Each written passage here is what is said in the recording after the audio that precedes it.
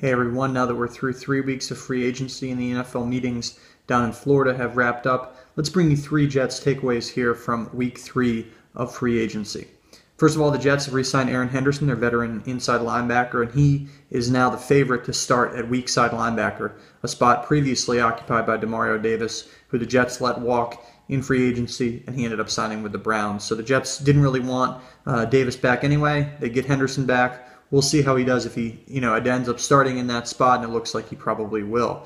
Uh, at, down at the meetings in Florida, Jets coach Todd Bowles says he, he's very comfortable with Matt Forte, despite Forte's age, which is 30, and despite Forte's mileage, 2,035 career carries and 487 career catches. Not 20,000, but 2,000 career carries. A lot of mileage on Forte, but Bowles thinks he still has a lot left in the tank.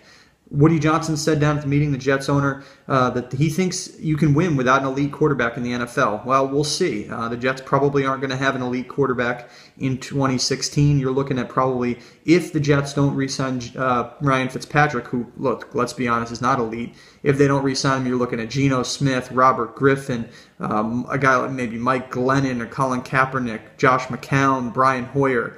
You know, none of those guys are elite guys. Those guys probably the Jets would obviously have to get in trade or uh, hope they get released. Uh, and Griffin, of course, a free agent.